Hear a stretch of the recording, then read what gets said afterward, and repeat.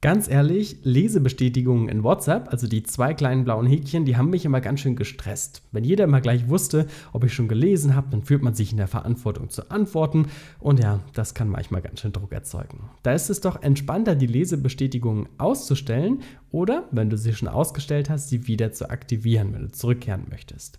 Um das zu tun, wechsle zurück in WhatsApp. Hier habe ich einen Chat, wo die Lesebestätigungen aktuell aktiv sind. Wir haben also die beiden Häkchen und sie färben sich blau, wenn der Empfänger der Nachricht das Ganze gelesen hat. Um das zu ändern, wechsle über die drei Punkte oben rechts in die WhatsApp-Einstellungen.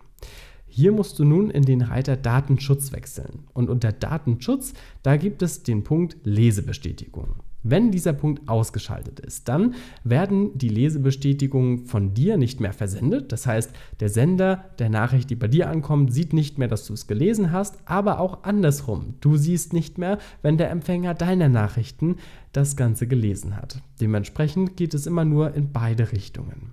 In Gruppenchats, da werden die Lesebestätigungen allerdings gezeigt. Das heißt, da musst du damit rechnen, dass die anderen wissen, ob du gerade etwas gelesen hast oder nicht. Aktiviert ist es, wenn der Schieberegler hier nach rechts geschoben und grün hinterlegt ist, dann hätten wir Lesebestätigungen und deaktiviert ist es, wenn du, wie bei mir, den Regler jetzt hier nach links verschiebst. Das Ganze wird sofort aktiv und in deinem nächsten Chat wirst du bereits keine Lesebestätigungen mehr versenden und auch keine mehr sehen können.